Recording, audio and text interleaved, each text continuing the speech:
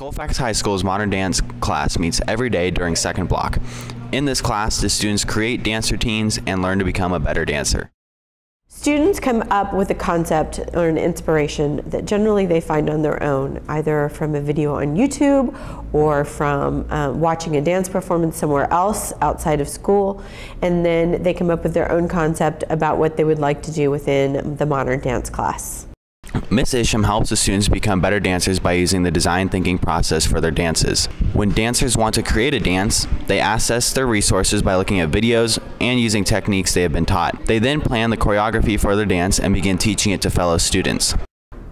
I hope what they take away from it the most is how to start a product from concept all the way through the finishing product, and then um, are able to reflect upon the process to better understand um, how they can do uh, it differently and better the next time.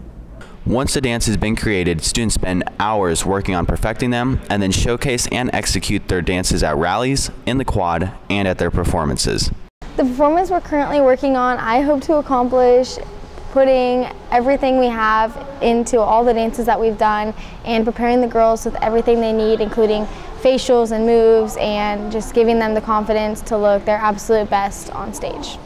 Um, I hope to accomplish a great performance because it's my last performance ever, and so I hope it's just a great show and everyone enjoys watching it.